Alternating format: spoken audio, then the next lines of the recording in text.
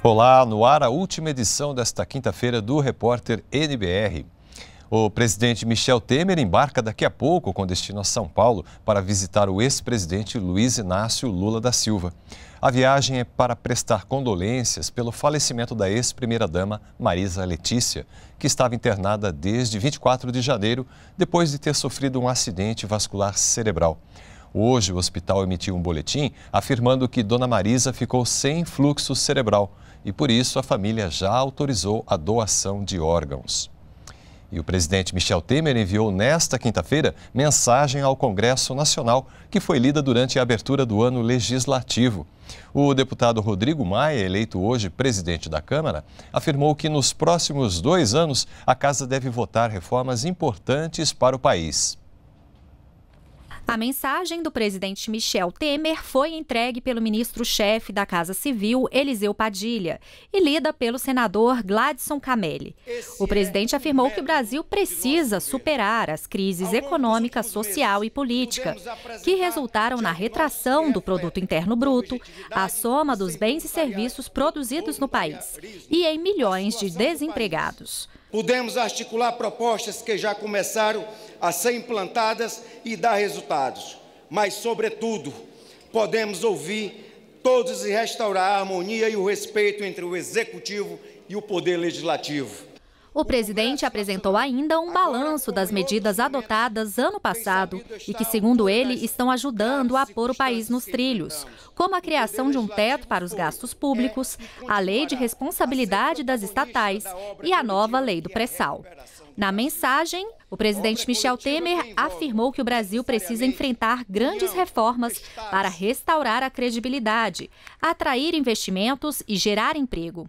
O presidente reeleito da Câmara dos Deputados, Rodrigo Maia, afirmou que pretende instalar na semana que vem as comissões especiais que vão analisar as mudanças na Previdência e na legislação trabalhista. Nós vamos avançar na votação dessas matérias. Nós entendemos que a Câmara precisa ser protagonista nesse processo precisa efetivamente avançar é, nessas votações e em tantas outras, a discussão do Pacto Federativo, e nós precisamos terminar 2018 com a certeza que a Câmara dos Deputados é uma Câmara é, que comanda a reforma do Estado brasileiro, é uma Câmara reformista.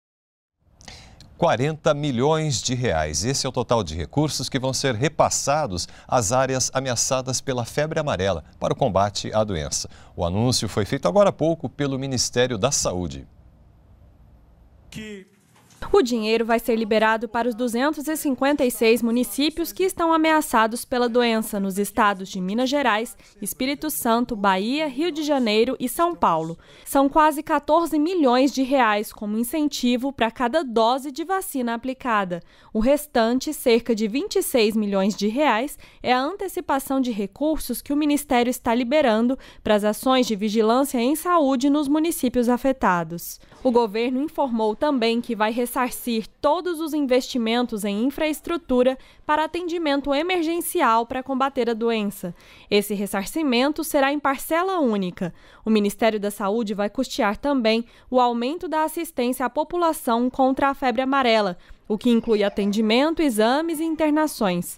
Serão três meses de custeio. Tudo aquilo que for necessário de investimentos na assistência para novos leitos novas contratações, contratação de médicos, nós faremos o ressarcimento de parcela único e pagaremos por toda a produção apresentada ao Ministério da Saúde. O ministro da Saúde, Ricardo Barros, falou sobre as ações do governo para o combate à febre amarela. Na região do Surto, que é zona da Mata de Minas Gerais, os municípios receberam as vacinas, as prefeituras tomaram as providências, fizeram a vacinação, Estamos com 90% de cobertura nesses municípios, portanto, eliminando de forma bastante significativa o risco de transmissão da febre amarela.